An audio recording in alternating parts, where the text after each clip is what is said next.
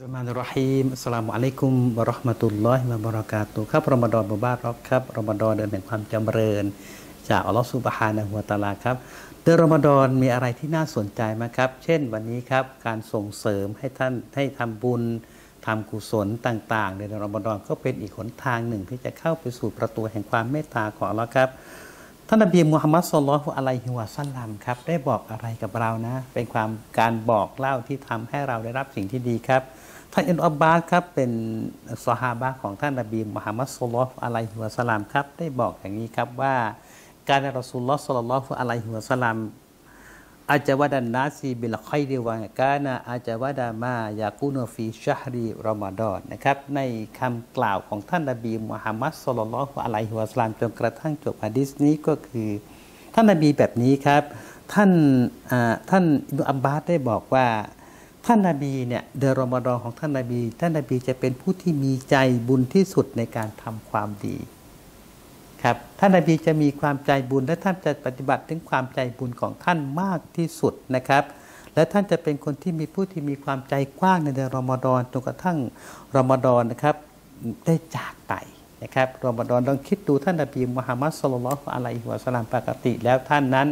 สองข้างแรมสองเดือนบางทีควันไฟไม่เคยขึ้นจากบ้านของท่านเราที่รักของเราครับ นึกภาพว่าท่านนาบีไม่มีอะไรเลยนะ แต่อะไรก็ตามที่เป็นสิ่งที่ท่านจะหยิบยื่นให้กับคนอื่นได้ ท่านสามารถท่านก็จะทำสิ่งนั้น ครับอีกเรื่องหนึ่งของรอมฎอนก็คือการทบทวนอัลกุรอาน ท่านยิบริลอัลสลามจะมาหานาบี และก็ทบทวนอัลกุรอานกับท่านนาบีมุฮัมมัดสุลลัลอะลัยฮิวะสัลลัมและอีกเรื่องหนึ่งคือที่ท่าน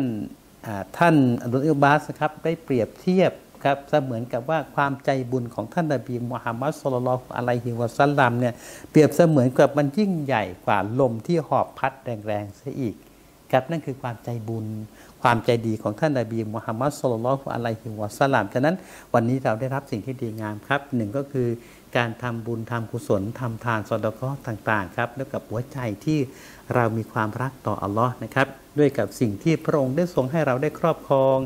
จากทรัพย์สินเงินทองของเราครับสองก็คือการทบทวนอันกุราน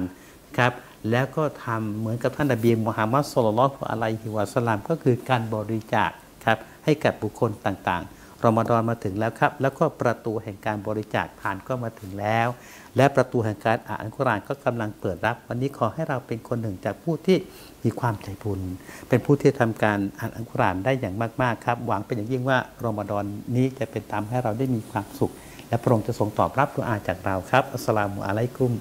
วะราะห์มะตุลลอฮิวะบะเราะกาตุฮ์ครับ